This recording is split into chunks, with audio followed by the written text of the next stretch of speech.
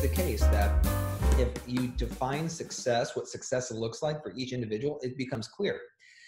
And yet, if compensation is a part of that decision, then the types of OKRs, the objectives and key results that each person signs up for is probably going to be more conservative than if the their compensation was not tied to the outcomes of their uh, OKRs.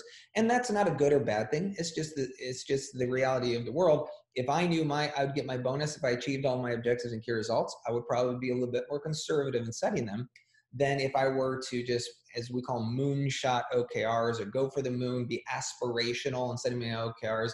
You know, we want uh, half a million users. No, let's go for a million users or whatever it might be. So you get more aspirational objectives and key results when you don't necessarily tie the compensation together. And yet, if you do tie the compensation, they'll be more conservative, but at least you've defined what success looks like. And individuals will be very um, uh, involved in making sure that they achieve it.